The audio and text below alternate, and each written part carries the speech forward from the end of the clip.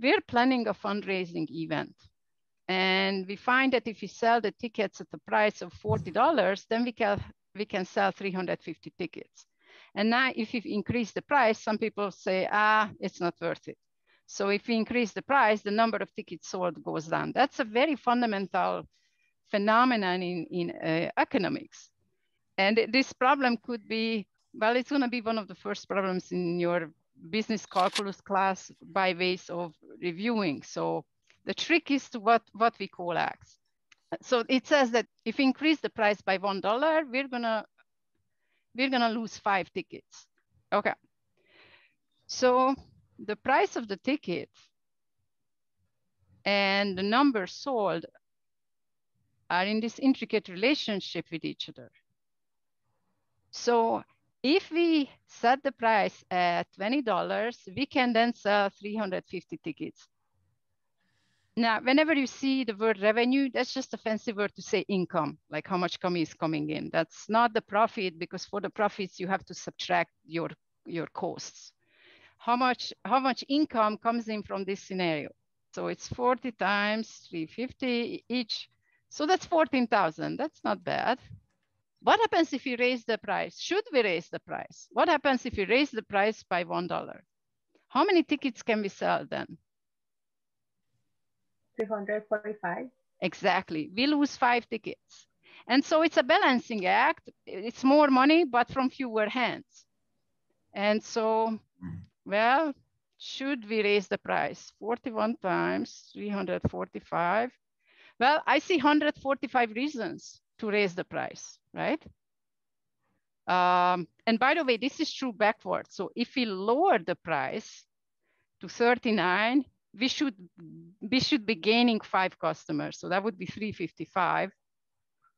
Well, if if uh, raising the price helped, probably lowering won't. 39 times 300. 13,945. Right. So the first question was, okay, what the first question was kind of getting you to get used to this scenario. And the first question was is, what about the price of 50? How much money are we clearing if we, if we set the price of the ticket at 50 bucks? So we're gonna add to 350, we're gonna add uh, uh, 20, I think. So it's gonna be 50 multiplied 370. No, no, no, no, no, no. When you raise the price, the demand lowers. So when you increase the price, because the problem says that from $40, each increase, uh, each dollar increase will result in a loss of five tickets. So we raise $10, that means we, we lose 50 tickets. So altogether, we can only sell 300. And so then, well, I think I know what this is gonna be. It's 15, 15,000. So it looks like we should, we should raise the price. The second part is a little bit more complicated because it, it asks, and unfortunately I forgot to. So the question is, yeah, I didn't write down this number, 14,625.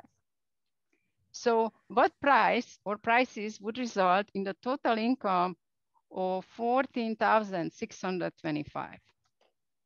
So first of all, these numbers are close enough for you to do trial and error, but this is not a trial and error course. This is college algebra course. So we're gonna have to set up and solve an equation. And the trickiest part in every word problem is what do we call X?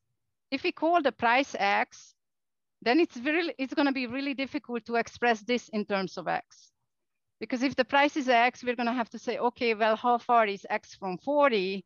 And let's multiply that by five and let's subtract that from 350. That's a terrible way having to set up the equation. Similarly, this one, if we call this X, this is gonna be too complicated. The trick is to call X what was one here, negative one here, and 10 here. And that is, that would be the increase in the price from 40 bucks.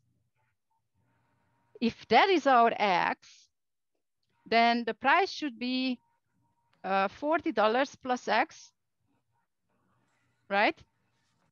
So, and we should always commit in writing. So let X denote the increase in the price from 40 bucks. uh, then the price is gonna be 40 plus X. And the go and the hope is that it's also not that difficult to express how many we're selling. Any ideas? How many are we gonna sell in terms of X? Here X equals zero. If we raise the ticket by a thousand bucks, we're gonna have negative number of customers because we're gonna lose 5,000 customers from 350. It's really 350 minus 5x. And these, these lines are kind of good because you can test your formulas. If x is one, then 350 minus 5x is 3, 345, right? And if x is 10, then this is 350 minus 5 times 10. And so now here is this lovely quadratic equation. And see, this was the logic, but now I'm becoming an algebraist and kind of write it in terms of computation. And this is a quadratic equation. So we can solve for x and we should expect two solutions and they will both work. We're gonna solve this equation, 5x squared plus 350 minus 200. I, I believe it's plus 150. X, don't trust me. Plus 350 minus 200. Uh, plus 35, 70, 140, 14. I'm not sure how many zeros. Uh, let's just check. 40 times 350. Oh yeah, because if x is zero, this should be this should be 14,000. You see, if x is zero, we, we're making 14,000. This is, in terms of x, the revenue. This is the revenue as a function of x. And this should equal 14,625. And that's our quadratic equation to solve. I'm gonna pile up everything here uh, on the right-hand side because I don't like the negative. And after that, we're gonna divide by five right? So we're adding 5x squared, we're subtracting 150x, and we're subtracting 14,000, but we're left. See, it's not that bad anymore. Now we're gonna divide everything by five. Oh, lost the square, no one is yelling at me. So 625 divided by five, there it is. The problems sort of lend themselves for completing the square. So x minus 15 squared is x squared minus 30x plus 225. And so we're gonna smuggle in the 225. So we have x minus 15 squared, and then this looks just 100. So we have um,